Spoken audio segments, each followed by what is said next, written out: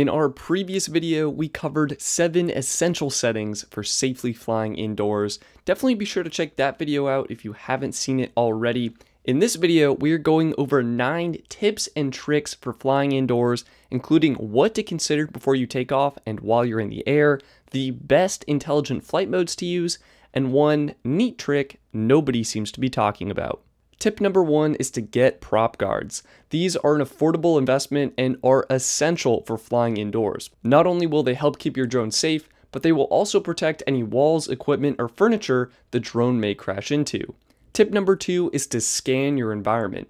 Know where obstacles are, account for air movements, and familiarize yourself with the area. Building off of that, plan your flight route in advance. Know where you are going to take off and land, and know any obstacles you may need to be careful of while you're in the air. Minimize the time you're in the air to reduce the likelihood of crashing into an obstacle. Tip number three, take off manually. This gives you more control of your drone and allows you to perform a nice gradual takeoff. Your hands will also already be on the control sticks, so you can react quickly and perform any adjustments if you need to. Tip number four, keep a safe distance between your drone and the ceiling.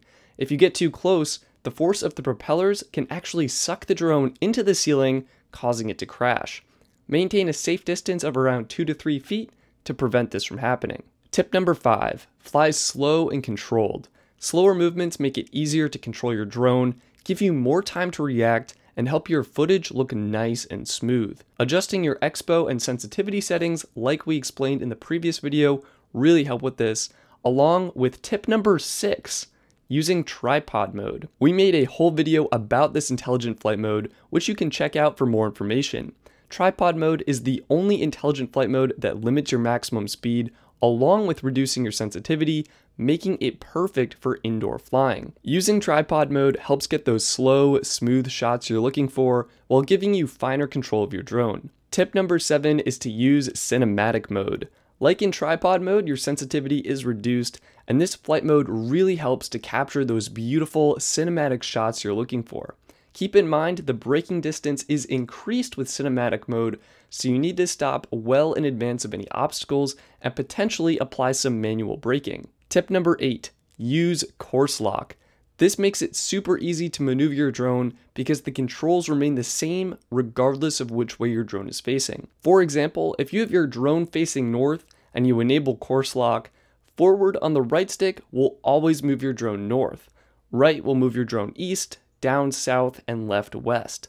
Not only does it make this easier for flying your drone, but it also makes it easier to get cool creative shots. For example, you can now fly in a straight direction while panning your camera, allowing you to get a nice shot of a subject or a cool reveal when coming around a corner. And tip number 9, the trick no one seems to be talking about, is to carry your drone instead of flying it. I know we just covered 7 essential settings for flying indoors, along with 8 additional tips and tricks in this video, but sometimes the situation just isn't optimal for flying. Not flying your drone indoors is the best way to keep it safe, and hand carrying it actually remains a great option for getting beautiful interior footage. The 3-axis gimbal still provides amazing stabilization, and there are even accessories to make it easier to operate your drone in a handheld configuration. If you do decide to do this, make sure to take the propellers off so if the motors accidentally start, you are not injured by a spinning blade.